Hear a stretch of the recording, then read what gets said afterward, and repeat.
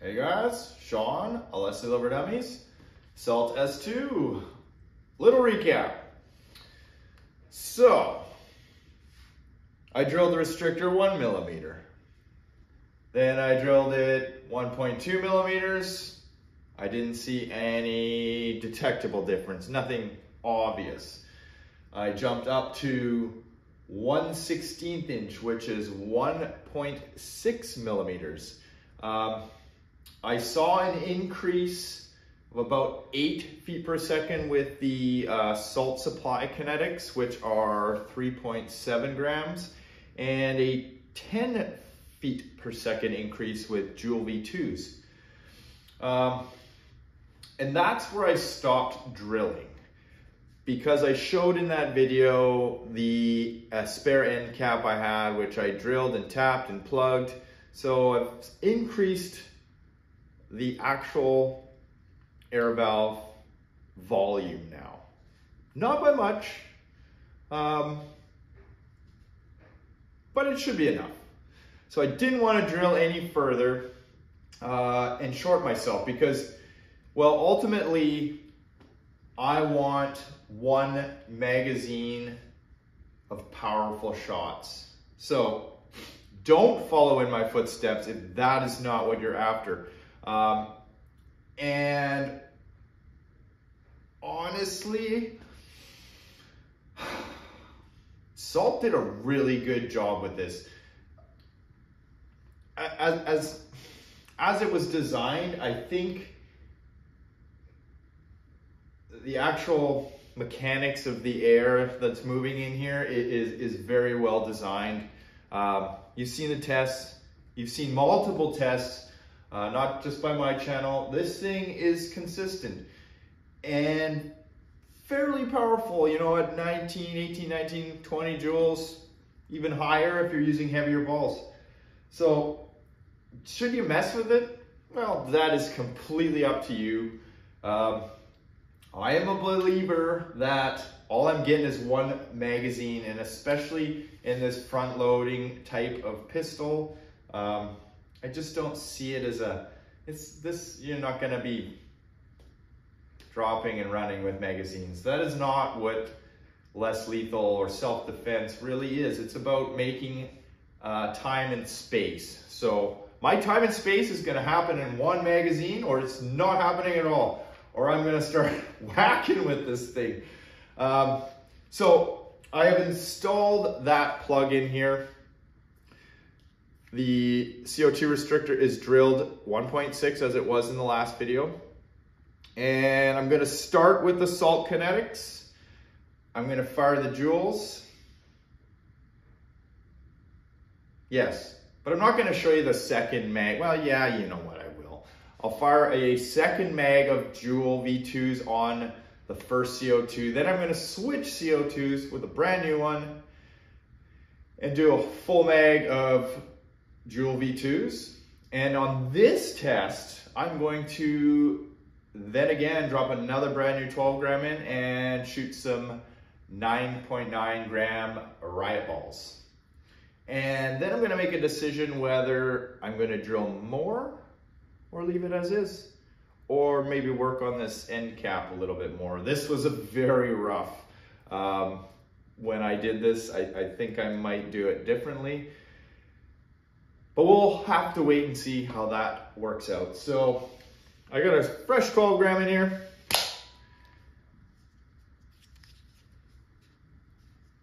These are Salt Kinetics. Chamber cap and a 1.6 millimeter or 1 16th, not 3 16ths like I inadvertently mentioned in the last video. Um, drilled CO2 restrictor. I think my best shot on the 3.7 grams was 340.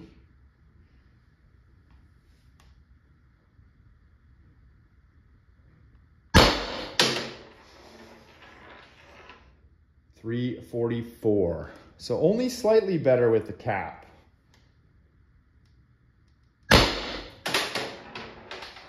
336. 328, still remaining pretty consistent though. 324, I'd say really consistent. And then it dropped, 304. And that was the last one. Okay, Joule V2s, this is the same CO2 second magazine. So you should be able to see now how quickly this 12 gram depletes with the drilled restrictor and this extra little bit of volume we have in here. I think my best on the second mag of Joules was um, 226, I believe.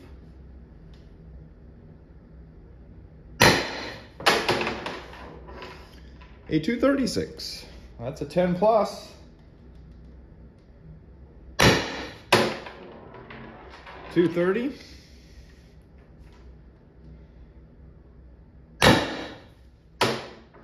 Two twenty, but the volume has changed. And this CO2 is depleting fast. Yeah, and there you go. But the last one dropped fairly substantially. I don't know if you guys can pick that up on the video. Um, there's fairly large puff of CO2 venting out of this marker. Through the decaulking hole. Um, I meant to tape over it. Uh, friend over at RAT Defense uh, taped over his and he detected a little bit of increased consistency. I would like to tape over inside the actual uh, cast zinc, cast zinc um, frame.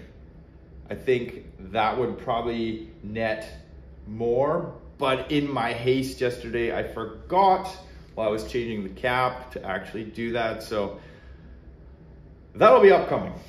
Um, all right. We're gonna do fresh CO2 and a fresh mag of Joule V2s.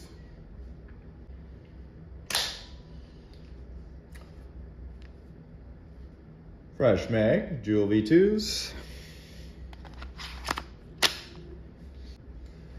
Um, 236 was the number to beat, even though I got that on the second mag as well.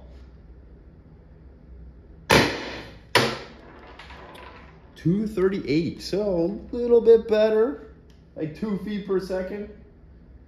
But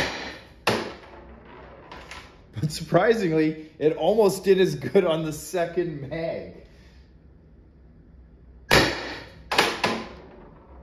Holding a little higher consistency.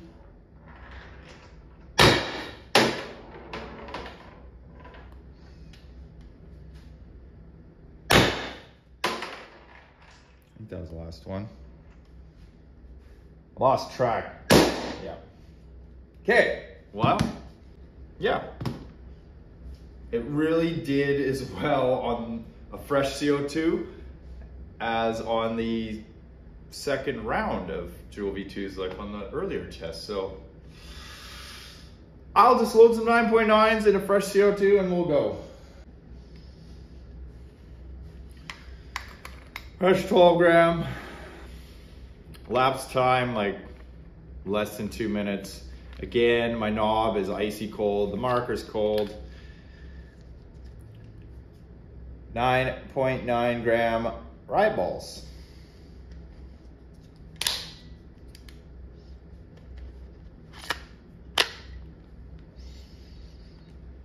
See what kind of energy we see, because I haven't tested these with any of the drilling yet, actually. So this will be a first.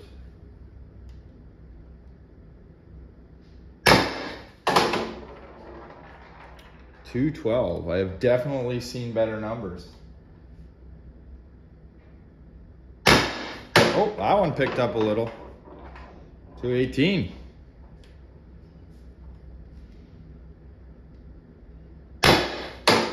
Oh, 200.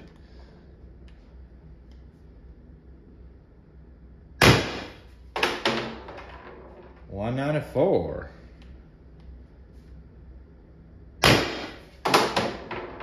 One ninety.